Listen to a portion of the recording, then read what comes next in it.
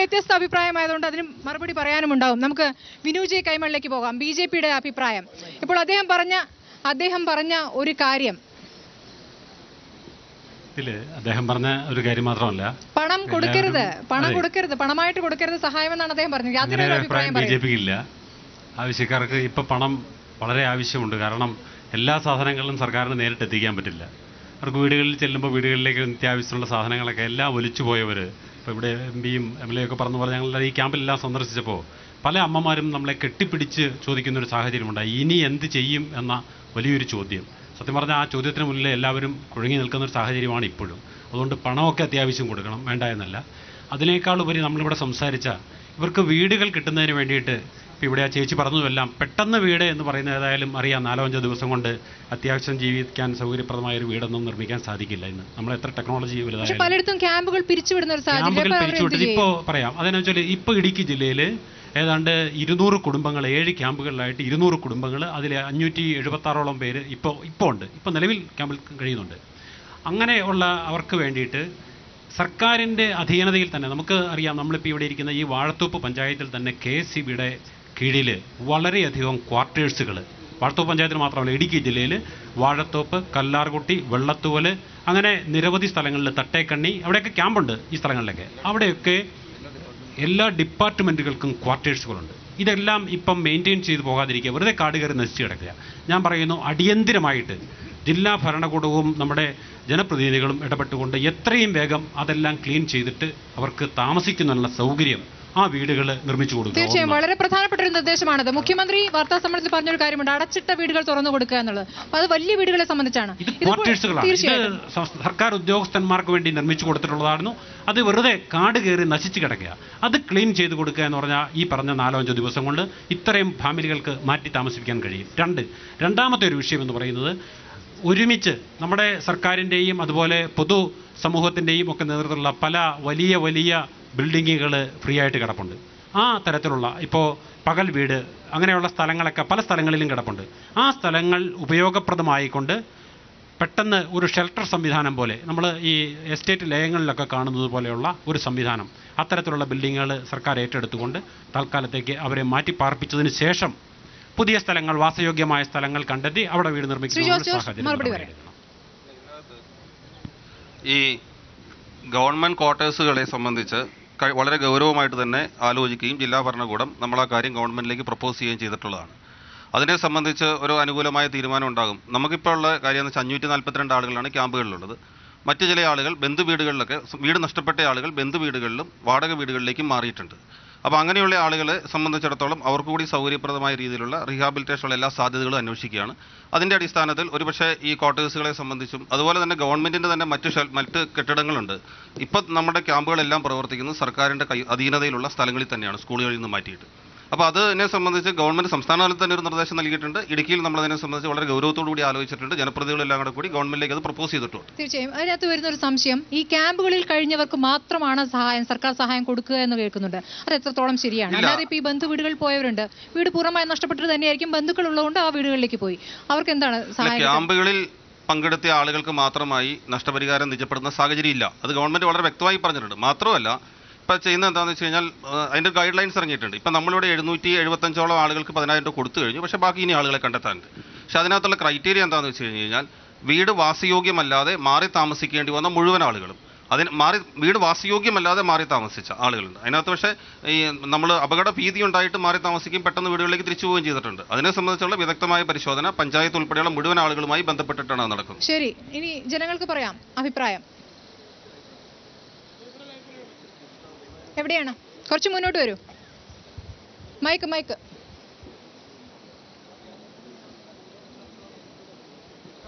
Mic കൊടുക്കൂ. പറഞ്ഞോളൂ. അതായത് ഇപ്പം എം പി പറഞ്ഞതിനൊരു മറുപടി ചോദിക്കുകയാണ്. അതായത് കേന്ദ്രം നമുക്കിപ്പോൾ തന്നെ കേന്ദ്രം നമുക്ക് തന്നേക്കുന്ന ഫണ്ട് ഒത്തിരി കുറവാണ്. അപ്പം അതിന് എം പി എന്ന നിലയിൽ താങ്കൾക്ക് എന്താണ് ചെയ്യാൻ കഴിയുന്നത്? നമ്മൾ പ്രഖ്യാപനങ്ങൾ ഇതിനു മുമ്പും കണ്ടിട്ടുള്ളതാണ്. പക്ഷേ ഇപ്പോഴത്തെ സാഹചര്യത്തിൽ ഒരു പ്രഖ്യാപനങ്ങളും അല്ല ആവശ്യം. ഇടുക്കി പോലൊരു സംസ്ഥ അല്ലെങ്കിൽ ഇടുക്കി പോലൊരു സാഹചര്യത്തിൽ നമുക്ക് എന്ത് നടപ്പാക്കാൻ പറ്റുമെന്നാണ് അറിയേണ്ടത്? എനിക്ക് മറുപടി പറയാമോ ഇതിനെ സംബന്ധിച്ച് ഒരു പ്രഖ്യാപനവും ഇല്ല. ഇതൊരു കൂട്ടായ പരിശ്രമമാണ്. നമ്മൾ മുഴുവൻ ആളുകളെയും റീഹാബിലിറ്റേറ്റ് ചെയ്യാനാണ് ശ്രമിക്കുന്നത്. കേന്ദ്ര ഗവൺമെന്റിന്റെതായിട്ടുള്ള ധനസഹായം നമ്മൾ പ്രതീക്ഷിക്കുകയാണ്. ഇന്നലെ കേരളത്തിൽ നിന്നുള്ള മുഴുവൻ എം പിമാരും ബഹുമാനപ്പെട്ട എ കെ ആന്റണിയുടെ നേതൃത്വത്തിൽ ഒരു രാഷ്ട്രീയവും ഇല്ലാതെ മുഴുവൻ എം പിമാരും ഒരുമിച്ച് പോയിട്ടാണ് ബഹുമാനപ്പെട്ട ആഭ്യന്തര വകുപ്പ് മന്ത്രി രാജ്നാഥ് സിംഗിനെയും അതോടൊപ്പം തന്നെ റൂറൽ ഡെവലപ്മെന്റ് മിനിസ്റ്ററിയും അതുപോലെ തന്നെ മിസ്റ്റർ പസ്വാനിയും നമ്മൾ സിവിൽ സപ്ലൈസ് മന്ത്രി ഉൾപ്പെടെയുള്ള മുഴുവൻ മന്ത്രിമാരെയും കാണുകയും നമുക്ക് കേന്ദ്രത്തിൽ നിന്ന് അർഹതപ്പെട്ടത് ലഭിക്കണം. അതിനകത്ത് കേരളം ഒറ്റക്കെട്ടാണ്. എനിക്ക് തോന്നുന്നു ബിനു കൈമലിന്റെ ബി ജെ പിയുടെ കേരള ഘടകത്തിൽ പോലും ഒരു തർക്കം ഉണ്ടാവില്ല. മാത്രമല്ല സംസ്ഥാന ഗവൺമെന്റ് മുഖ്യമന്ത്രിയുടെ നേതൃത്വത്തിലുള്ള ദുരിതാശ്വാസ ഫണ്ട് പിരിക്കുന്നുണ്ട് എ ഡി ബി ഉൾപ്പെടെയുള്ള ധനകാര്യ സ്ഥാപനങ്ങളിൽ നിന്ന് വായ്പ എടുക്കാൻ ശ്രമിക്കുകയാണ്. വിദേശ സഹായം ഞങ്ങൾ ഇന്നലെ രാജ്നാഥ് സിംഗിനോട് ആവശ്യപ്പെട്ട് വിദേശ സഹായം സ്വീകരിക്കുന്നതിന് ആവശ്യമായ മുഴുവൻ നടപടിയും നമുക്ക് അനുകൂലമായി ഉണ്ടാകണമെന്നാണ്. കേരളത്തെ പുനർജി പുനരുദ്ധരിക്കാൻ കേരളത്തെ പുനർസൃഷ്ടിക്കാനുള്ള പ്രക്രിയയിൽ കേരളത്തിൽ രാഷ്ട്രീയവും ജാതിയും മറന്ന് മുഴുവൻ ആളുകളും ഒരുമിച്ച് നിൽക്കുകയാണ്. അതിനകത്തൊരു വാഗ്ദാനമല്ല നടത്തണമെന്നാണ് നമ്മുടെ നിർബന്ധം. ആ നിർബന്ധ ബുദ്ധിയോടുകൂടിയാണ് നിൽക്കുന്നത്. തീർച്ചയായും നമ്മളൊക്കെ ഇവിടെ തന്നെയുണ്ട് ഇവിടെ തന്നെയുണ്ട്. നമുക്ക് കാണാം അത് എത്രത്തോളം വേഗത്തിൽ പോകുമെന്ന് ഇടവേളയ്ക്ക് ശേഷം മടങ്ങിയത്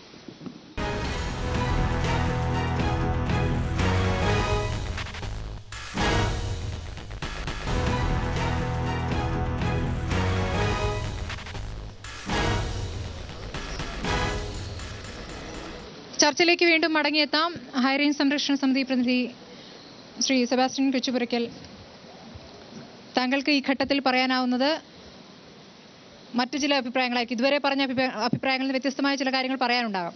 പറഞ്ഞു ഈ ദുരന്തത്തിന്റെ പശ്ചാത്തലത്തിൽ വീട് പുനർനിർമ്മിക്കുക എന്നത് ഏറ്റവും പ്രധാനപ്പെട്ട ഒരാവശ്യമാണ് സൂചിപ്പിച്ചു കഴിഞ്ഞു. അതിന് ഒന്നാമതായിട്ട് അതിന് സ്ഥലം കണ്ടെത്തേണ്ട ഒരു സാഹചര്യമുണ്ട്. പല വീടുകളും നഷ്ടപ്പെട്ട സ്ഥലത്ത് തന്നെ പുനഃസ്ഥാപിക്കാൻ പറ്റാത്ത അവസ്ഥയുണ്ട്. അപ്പോൾ പകരം സ്ഥലം കണ്ടെത്തുക എന്നുള്ളത് സർക്കാരിന്റെയും അതുപോലെ തന്നെ സമൂഹത്തിലുള്ള മറ്റ് പ്രസ്ഥാനങ്ങളുടെയും വലിയ ഉത്തരവാദിത്വമാണ്. അത് കണ്ടെത്തണം. മുഴുവൻ ആളുകൾക്ക് സുരക്ഷിതമായ വീട് പണിയാനുള്ള സാഹചര്യം ഉണ്ടാകണം. രണ്ടാമതൊരു കാര്യം ഈ വീടോ സ്ഥലമോ നഷ്ടപ്പെട്ട ആളുകൾ പട്ടയമില്ലാത്ത ഭൂമി കൈവശമുള്ള ആളുകളുണ്ടാവും. അങ്ങനെയുള്ളവർക്ക് യാതൊരു തരംതിരിവും കൂടാതെ അവർക്കും പൊതുവായി പ്രഖ്യാപിക്കപ്പെട്ട ആനുകൂല്യങ്ങളെല്ലാം കിട്ടുന്ന സാഹചര്യം ഉണ്ടാകണം. മൂന്നാമതായിട്ട് നമ്മുടെ ഈ പ്രദേശത്തെ ധാരാളം ആളുകൾ ബാങ്കുകളിൽ നിന്നും പൊതുമേഖലാ സ്ഥാപനങ്ങളിൽ നിന്നൊക്കെ വായ്പ എടുത്തിട്ടുണ്ട്. വായ്പ തിരിച്ചടയ്ക്കാൻ പറ്റാത്ത ഒരവസ്ഥയിലേക്ക് ആളുകൾ മാറിയിട്ടുണ്ട്. അപ്പം അങ്ങനെയുള്ളവരെ ഇപ്പോൾ ബാങ്കുകൾ കൂടി ഒരു വർഷത്തേക്ക് വായ്പ തിരിച്ചടവൻ മൊറട്ടോറിയം പ്രഖ്യാപിച്ചിരുന്നു. പക്ഷേ ബാങ്കുകളിൽ അതിനുള്ള ഉത്തരവൊന്നും എത്തിയിട്ടില്ല. അപ്പോൾ ഏറ്റവും അടിയന്തരമായിട്ട് അതിനുള്ള നടപടി ഉണ്ടാകണം. ബാങ്കുകൾ തന്നെ അക്കാര്യത്തിൽ ഇനിഷ്യേറ്റീവ് എടുക്കുകയാണ്. ബാങ്കുകൾ തന്നെ സർക്കാരിനോട് ബാങ്കുകൾ തന്നെ എടുത്തിരുന്നു. പക്ഷേ ബാങ്കുകളിൽ ഇവിടെ ഒരു ബാങ്കിലും അതിനുള്ള ഉത്തരവ് എത്തിയിട്ടില്ല. ഉത്തരവെത്താതെ അതിന്റെ ആനുകൂല്യം ആളുകൾക്ക് കിട്ടുകയില്ല. അതുപോലെ തന്നെ പലിശ ഒരു വർഷത്തേക്കെങ്കിലും പൂർണമായി ഒഴിവാക്കുന്ന ഒരു വർഷത്തേക്കല്ല ഇപ്പോൾ എടുത്തിരിക്കുന്ന വായ്പയുടെ പലിശയെങ്കിലും ഒഴിവാക്കി കൊടുക്കുന്ന ഒരു സാഹചര്യം അനിവാര്യമാണ്. അതുപോലെ തന്നെ മറ്റൊരു പ്രധാനപ്പെട്ട കാര്യം മറ്റൊരു പ്രധാനപ്പെട്ട കാര്യം നമ്മുടെ ജലസ്രോതസ്സുകൾ പ്രത്യേകിച്ച് കിണറുകൾ അതുപോലെ തന്നെ നമ്മുടെ സേഫ്റ്റി ടാങ്കുകൾ ഇതൊക്കെ മോശമായി പോയ സാഹചര്യങ്ങൾ പല സ്ഥലങ്ങളിലുണ്ട്. അതേറ്റവും അടിയന്തരമായിട്ട് അത് ക്ലീൻ ചെയ്ത് കുടിവെള്ളവും അതുപോലെ തന്നെ മറ്റാരോഗ്യ പ്രശ്നങ്ങൾ ഉണ്ടാകാത്ത രീതിയിലുള്ള സാഹചര്യങ്ങൾ സൃഷ്ടിക്കേണ്ടതുണ്ട്. മറ്റൊരു പ്രധാനപ്പെട്ട കാര്യം ഇപ്പോൾ ഈ ദുരന്തത്തിന്റെ പശ്ചാത്തലത്തിൽ ഭയങ്കരമായ വാർത്തകൾ നിരന്തരം വരികയും അത് ഒരുതരം ഭീതി ജനങ്ങളിൽ കൂടുതൽ സൃഷ്ടിക്കുന്ന സാഹചര്യം ഉണ്ടാകുകയും ചെയ്യുന്നുണ്ട്. ഇത് വളരെ അസാധാരണമായ ഉണ്ടായ സാഹചര്യമാണ്. ഭീതി വല്ലാതെ സൃഷ്ടിച്ചാൽ ആളുകൾക്ക് ജീവിക്കാൻ ബുദ്ധിമുട്ടാകും. അപ്പം അതുകൊണ്ട് അത് ഒന്ന് ക്രമീകരിക്കാൻ അഥവാ ഇങ്ങനെയുള്ള ആശങ്കകൾ ഒഴിവാക്കാനുള്ള സാഹചര്യം പൊതുവായി എല്ലാ ഭാഗത്തു നിന്നും മാധ്യമങ്ങളുടെ ഭാഗത്തു നിന്നും പൊതുസമൂഹത്തിൽ നിന്നും ഉണ്ടാകേണ്ടത് അനിവാര്യമാണ്. കാർഷിക മേഖലയുമായി ബന്ധപ്പെട്ട വിമർശനത്തിന് സി പി എം നേതാവ് തന്നെ പറയട്ടെ ശ്രീ വർഗീസ്. എനിക്ക് മുമ്പ് ഒരു കാര്യം സൂചിപ്പിക്കാനുള്ളത് ഇവിടെ ഡീൻ തെറ്റായ ഒരു കാര്യം റിപ്പോർട്ട് ചെയ്തിട്ടുണ്ട്. കാരണം ഒരു ക്യാമ്പിൽ നിന്നും ഒരാളുകളെയും നിർബന്ധപൂർവം ഇറക്കി വിട്ടിട്ടില്ല. ആളുകളെ ക്യാമ്പുകളിൽ നിന്നും നിർബന്ധപൂർവം ഒഴിവാക്കിയെന്ന് പറയുന്ന ഒരു പ്രതിഭാസം നമ്മുടെ ജില്ലയിൽ ഉണ്ടായിട്ടില്ല. വളരെ വ്യക്തമായി പറയാം. ഒരു കാര്യം അല്ല അല്ല അതില്ല അല്ല ഇല്ല അതൊരു കാര്യം. രണ്ട് ഇവിടെ കൊച്ചുവരെ സൂചിപ്പിച്ച ചില പ്രശ്നങ്ങൾക്ക് തോന്നിപ്പോൾ ഗവൺമെന്റ് ഈ കൃഷിക്കാരുടെ കാർഷിക കടങ്ങൾ എഴുതിത്തള്ളതിനെ സംബന്ധിച്ചും അല്ല മൊറട്ടോറിയം പ്രഖ്യാപിക്കുന്നതിനും ഗ്രഹോപകരണങ്ങൾ നഷ്ടപ്പെട്ടിട്ടുള്ളവർക്ക് ഒരു ലക്ഷം രൂപ വരെ പലിശരഹിതമായി കുടുംബശ്രീ ഏറ്റവും ഫലപ്രദമായി പ്രവർത്തിക്കുന്ന സംവിധാനമാണ് കുടുംബശ്രീ സംവിധാനം. ആ കുടുംബശ്രീ സംവിധാനത്തിലൂടെ ഒരു ലക്ഷം രൂപ വീതം കൊടുക്കാനും അതുപോലെ തന്നെ അതിന്റെ പലിശ സർക്കാർ കൊടുക്കും എന്നിപ്പോൾ പലരും മുൻകൂട്ടി പ്രഖ്യാപിച്ചിട്ടുണ്ട്. സ്വാഭാവികമായി ഉണ്ടായിട്ടുള്ള ഒരു പ്രതിഭാസത്തിന്റെ ഭാഗമായി നമ്മുടെ ആരും നിയന്ത്രണത്തതീതമായി ഉണ്ടായിട്ടുള്ള സംഭവത്തിൽ അതിന് ഗവൺമെന്റിന്റെതായിട്ടുള്ള ഒരു ഏജൻസി അല്ലെങ്കിൽ ഗവൺമെന്റിന് ഒരു ശാശ്വതമായ പരിഹാരം ഉണ്ടാകുന്നതിന് വരുന്നൊരു കാലതാമസത്തിനപ്പുറമായി ഏതെങ്കിലുമായിട്ടുള്ള കാലതാമസത്തിന് സമയം ഉണ്ടായിട്ടില്ല എന്നൊരു ധാരണ തന്നെയാണ് ഞങ്ങൾ കുറച്ചുള്ളൂ. മറ്റൊരു കാര്യം ഇവിടെ ഇടുക്കി ജില്ലയെ സംബന്ധിച്ച് ഇവിടെ കൊച്ചുവരച്ചൻ സൂചിപ്പിച്ച ഒരു കാര്യത്തിനോട് ഞാൻ യോജിക്കുക. കാരണം ഇടുക്കി ജില്ലയിൽ ഏതോ പ്രത്യേകമായൊരു പ്രതിഭാസം ഉണ്ടായിരിക്കുന്നു. അതുകൊണ്ട് ഇനി ഇവിടെ ഗാർഗിൽ റിപ്പോർട്ട് നടപ്പാക്കിയതിന്റെ അടക്കപ്പാത്തിന്റെ ഭാഗമായിട്ടാണ്. അതുകൊണ്ട് ഇനി ഇടുക്കി ജില്ലയിലെ ജനങ്ങൾക്ക് വാസയോഗ്യമില്ല. അതുകൊണ്ട് ഇവിടെ നിന്ന് എല്ലാവരും ഒഴിവായി പോകുന്നതാണ് നല്ലത് എന്ന രൂപത്തിൽ നിങ്ങൾ ഉൾപ്പെടെയുള്ള മാധ്യമങ്ങൾ വളരെ ബോധപൂർവമായി ഭീതിപൂർവമായ ഒരു അന്തരീക്ഷം ഉണ്ടാക്കുന്നുണ്ട് ഞാൻ അഭിപ്രായം അങ്ങനെ അതുകൊണ്ട് അങ്ങനെ ഒരു അല്ല ആരായാലും ചോദിച്ച കെ എം മാണിയാണ് ചോദിച്ചാൽ ആരായാലും അത്തരം ഒരു സ്ഥിതിയില്ല. കാരണം ഇടുക്കി ജില്ലയിലെ ഗവൺമെന്റ് ഇത് സംബന്ധിച്ച് വളരെ വ്യക്തമായ നിലപാട് പറഞ്ഞിട്ടുണ്ട്. എന്താ? ഒന്ന്? തെറ്റായി പറഞ്ഞു എന്ന് പറയുന്നത് ഉരുൾ പൊട്ടിയ പ്രദേശങ്ങളിൽ വീട് പുനർനിർമ്മിക്കണമെങ്കിൽ അവിടെ ഒരു ശാശ്വതമായ പഠനം നടത്തണമെന്നാണ് ഗവൺമെന്റ് തീരുമാനിച്ചത്. പക്ഷേ വളരെ പെട്ടെന്ന് തന്നെ മാധ്യമങ്ങൾ എന്താ പറഞ്ഞത് ഇവിടെ പൂർണമായി ഉരുൾ പൊട്ടിയ പ്രദേശങ്ങൾ വീട് വെക്കാൻ പാടില്ല എന്നുള്ളത് തെറ്റായ വ്യാഖ്യാനമാണ്. അതുകൊണ്ട് തീർച്ചയായും ഇടുക്കി ജില്ലയിലെ ജനങ്ങളെ താങ്കളെ ആവശ്യമായിട്ടുള്ള പറഞ്ഞുകൊള്ളട്ടെ. ഞങ്ങൾ അങ്ങനെ പറഞ്ഞിട്ടില്ല. അല്ല നിങ്ങൾ പറഞ്ഞിരിക്കുന്ന വ്യവസ്ഥകളുടെ അടിസ്ഥാനത്തിൽ അതിനൊന്നും തർക്കമില്ല.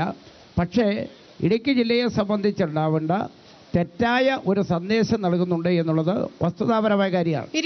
അപ്പൊ അതുകൊണ്ട് അതിന് പരിഹാരം ഉണ്ടാവുക. അപ്പൊ ഗവൺമെന്റ് ആവിഷ്കരിച്ചുള്ള പാവിക്കേജ് പത്ത്. ഒന്ന് ഇടുക്കി ജില്ലയെ സംബന്ധിച്ചുള്ള ഇന്ന് നിലനിൽക്കുന്ന പ്രദേശങ്ങളിൽ ചില പ്രദേശങ്ങൾ വാസയോഗ്യമല്ലാത്ത സ്ഥിതി ഇപ്പോൾ പെരിയാർ വാരിയുള്ള പ്രദേശങ്ങളിൽ അത് ഗവൺമെന്റ് മുഖ്യമന്ത്രി പറഞ്ഞിട്ടുണ്ട്.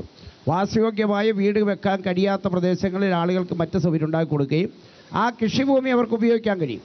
അങ്ങനെ ഉപയോഗിക്കാൻ കഴിയുന്ന കൃഷിഭൂമി ഉപയോഗിക്കുകയും അനുയോജ്യമായ പ്രദേശങ്ങൾ അവർക്ക് വാസയോഗ്യ വീടുണ്ടാക്കി കൊടുക്കാൻ ആവശ്യമായ സമീപനങ്ങൾ അതനുസരിച്ചുണ്ടാവും.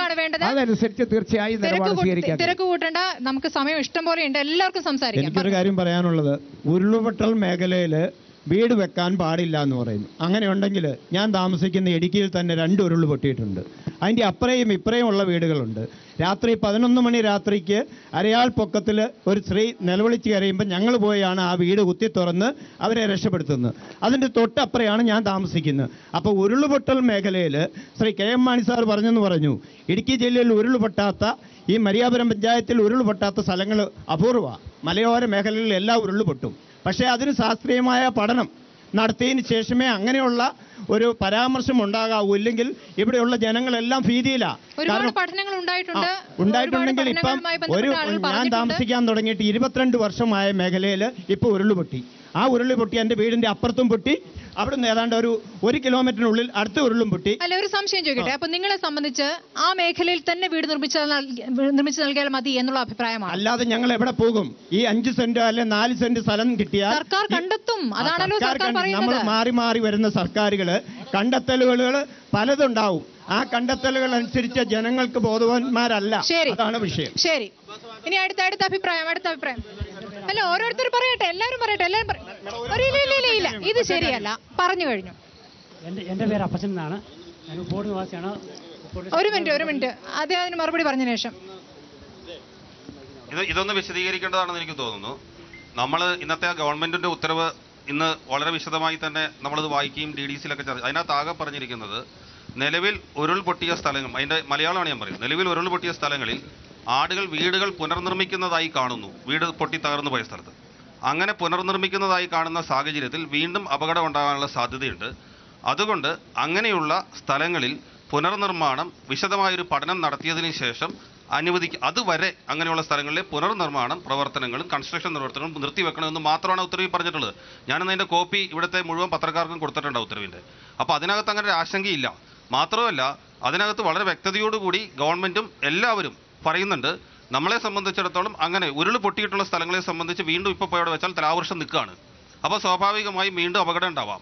അപ്പോൾ അങ്ങനെയുള്ള സ്ഥലങ്ങളിൽ ആളുകളുടെ ഇന്നലെ മുഖ്യമന്ത്രി വളരെ വ്യക്തതയോടുകൂടി നിയമസഭയിൽ പറഞ്ഞതാണ് നമ്മളുടെ ആളുകളെ കൊലക്കി കൊടുക്കാൻ പറ്റില്ല. അതുകൊണ്ട് അങ്ങനെയുള്ള കാര്യങ്ങൾക്കകത്ത് ഒരു വ്യക്തത വേണം. അത് മാത്രമേ ഉള്ളൂ. ശരി ശരി അത് വ്യക്തമായി അത് വ്യക്തമായി. ഇനി ഇ- ഇവിടെ ഇവിടെ. പറഞ്ഞോളൂ പറഞ്ഞോളൂ. മൈക്ക് അടുപ്പിച്ചു അടുപ്പിച്ചു. ഇടുക്കി ജില്ലയിൽ നടന്ന പ്രകൃതിക്ഷോഭം. പറഞ്ഞോളൂ പറഞ്ഞോളൂ. ഇടുക്കി ജില്ലയിൽ നടന്ന പ്രകൃതി അത് ഓക്കെയാണ് പറഞ്ഞോളൂ. ഇടുക്കി ജില്ലയിൽ നടന്ന പ്രകൃതിക്ഷോഭം ഏറ്റവും കൂടുതൽ ബാധിച്ചത് ഇടുക്കി ബ്ലോക്ക് പഞ്ചായത്തിന്റെ പരിധിയിൽ വരുന്ന നാല് പഞ്ചായത്തുകളിലാണ്. മറ്റ് പഞ്ചായത്തുകൾ ബാധിച്ചിട്ടില്ല എന്ന അഭിപ്രായമല്ല. ഏറ്റവും അധികമായി വാഴത്തോപ്പ് മരിയാപുരം വാത്തിക്കുടി കഞ്ഞിക്കുഴി തുടങ്ങിയ പഞ്ചായത്തുകൾ ഏറ്റവും കൂടുതലായി ബാധിച്ചത്. ഈ പഞ്ചായത്തുകളിൽ ബാധിച്ച് കഴിഞ്ഞ ഒരു ഒൻപതാം തീയതി മുതൽ ക്യാമ്പുകളിൽ ഒരു കാര്യം പ്രത്യേകം എടുത്തു പറയാൻ ഞാൻ ആഗ്രഹിക്കുന്നു. ഏക ദൈവത്തിന്റെ മക്കളായി മുഴുവൻ ക്യാമ്പുകളും വളരെ ഭദ്രമായി നടന്നു. ക്യാമ്പുകളിൽ നിന്ന് ആളുകളെ വീടുകളിലേക്ക് ഇപ്പോൾ പറഞ്ഞയച്ചു തുടങ്ങി. വീടില്ല പൂർണമായി ഇല്ലാത്തവരുടെ കാര്യമാണ് നമ്മളിവിടെ ചർച്ചയ്ക്ക് വിധേയമാക്കിക്കൊണ്ടിരിക്കുന്നത്. അതിന് നമ്മൾ വിളംബര പ്രഖ്യാപനങ്ങൾ പലതും നമ്മൾ കണ്ടുവെങ്കിലും അല്പം കൂടെ സമയദൈർഘ്യം കുറച്ചുകൊണ്ട് അതിന്റെ നടപടിക്രമത്തിലേക്ക് കടക്കണമെന്നുള്ളതാണ് എനിക്കൊന്ന് പറയാനുള്ളത്. മറ്റൊരു കാര്യം ഈ ഇപ്പോഴും നമ്മൾ മറ്റൊരു ദുരന്തവും കൂടി ക്ഷണിച്ചു വരുത്തുന്ന സ്ഥിതി നമ്മുടെ മുമ്പിലുണ്ട്. ഇവിടെ പ്രളയ- ദുരിതമുണ്ടായപ്പോൾ വൈദ്യുതി വകുപ്പ് മന്ത്രി പറഞ്ഞ സമയത്തെങ്കിലും ഇടുക്കി ജലാശയത്തിൽ നിന്ന് വെള്ളം തുറന്നു വിടാൻ തയ്യാറായിരുന്നുവെങ്കിൽ ഇടുക്കിയിൽ ഇത്രമാത്രം നാശമുണ്ടാകുമായിരുന്നില്ല. അഞ്ച് മീറ്ററോളം അഞ്ചടിയിലേറെ ഹരത്തിൽ സർക്കാർ ഡിപ്പാർട്ട്മെന്റ് പറയുന്ന കണക്കിൽ ഒരേ സമയത്ത് നാൽപ്പത് ഇരുന്നൂറടി വീതിയിലുള്ള ജലാശയം പത്ത് നാനൂറ് അടി ഉയരത്തിൽ നിന്ന് ഒരേ തുറന്ന് താഴേക്ക് വിട്ടപ്പോൾ അതിലൂടെ ഭൂമിക്കുണ്ടായ നടുക്കം അത് ഈ പരിസര പഞ്ചായത്തുകളിലും പ്രദേശങ്ങളും മണ്ണിടിച്ചിലും അവസരമൊരുക്കി. ആ കാര്യത്തിൽ ഇനി ശ്രദ്ധിച്ചില്ല എങ്കിൽ ഇനി ത്രാമട വരാൻ പോകുന്നതേ ഉള്ളൂ. ആ ത്രാമഴയുടെ വെള്ളം വരുമ്പോഴും ഇതേപോലെ ഒരു തുറന്നുപിടിയിൽ നടത്തിയാൽ ഇടുക്കിയെ നാമാവശേഷമാക്കും. ഇത് വൈദ്യുതി ബോർഡിന്റെ കെടുകാര്യസ്ഥത ഇതിന് പിന്നിലുണ്ട് ഇത് രമേശ് രമേശ് ചെന്നിത്തല പറഞ്ഞിട്ടുള്ള കാര്യമാണ്. നമുക്ക് ഇതിനുള്ള പരിഹാരമാണല്ലോ വേണ്ടത്. പറഞ്ഞോളൂ വേഗം പറഞ്ഞോളൂ. വാഴത്തോപ്പ് ഗ്രാമപഞ്ചായത്തിലെ പതിനൊന്നാം വാർഡായ ഗാന്ധിനഗറിൽ പ്രതിനിധാനം ചെയ്യുന്ന പഞ്ചായത്ത് മെമ്പറാണ് ഞാൻ. ചെറുതോണി ഡാം തുറന്നു വിട്ടപ്പോൾ ഇരുന്നൂറ്റി അൻപത് മീറ്റർ മാത്രം അകലെയുള്ള ഈ വാർഡിലാണ് ഏറ്റവും കൂടുതൽ അപകടമുണ്ടായത്. ഇരുപത്തിരണ്ടോളം വീടുകളും പൂർണമായി നശിക്കുകയും മുപ്പത്തിയെട്ടോളം വീടുകൾ ഭാഗികമായി നശിക്കുകയും ചെയ്തു. കേരളത്തിൽ തന്നെ പൂർണമായി മുഴുവൻ ആളുകളും മാറിപ്പോയ ഏക ഏക വാർഡ് ഈ ഗാന്ധിനഗർ വാർഡായിരിക്കും.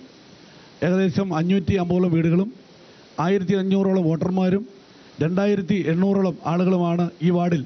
ഒരാൾ പോലുമില്ലാതെ പൂർണമായി ഒഴിവായിപ്പോയ ഒരു വാർഡാണ് ഇത്. ഇവിടെ ക്യാമ്പുകളെല്ലാം സംഘടിപ്പിച്ചു. ഇത് രാഷ്ട്രീയവൽക്കരിക്കുന്ന ഒരു മീറ്റിംഗ് അല്ല എന്നറിയാം ഒരു എന്നറിഞ്ഞുകൊണ്ട് തന്നെ ഈ ഇരിക്കുന്ന മുഴുവൻ ആളുകളും ആരെയും പേരെടുത്ത് പറയേണ്ട കാര്യമില്ല. കോൺഗ്രസിന്റെയും സി പി എമ്മിന്റെയും കേരള കോൺഗ്രസിന്റെയും ബി ജെ പിയുടെയും എന്ന് വേണ്ട. ഈ നാട്ടിലുള്ള എല്ലാ രാഷ്ട്രീയക്കാരും എല്ലാ ജനപ്രതിനിധികളും എല്ലാ പൊതുപ്രവർത്തകരും മുഴുവൻ ചാരിറ്റി ട്രസ്റ്റുകളും എല്ലാവരും സഹായിച്ച് ഞങ്ങളെ ഈ മേഖലയെല്ലാം സഹായിച്ച് ആരുടെ രാഷ്ട്രീയവൽക്കരിക്കുകയല്ല. പ്രിയപ്പെട്ട ഒരു കാര്യം പറയാനുള്ളത്.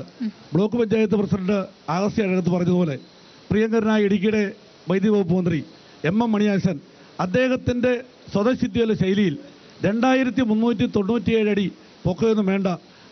അത്രയും വരെ കൂടണ്ട. ഡാം പയ്യങ്ങ് പൊക്കാം എന്ന ആദ്യ മീറ്റിങ്ങിൽ ഞങ്ങൾ പങ്കെടുത്ത ആളുകൾ ജനപ്രതി പൊതുപ്രവർത്തകർ ഇരിക്കുന്നത്. ആ വാക്ക് കേട്ടിരുന്നെങ്കിൽ യാതൊരു സംശയം വേണ്ട. ഇത്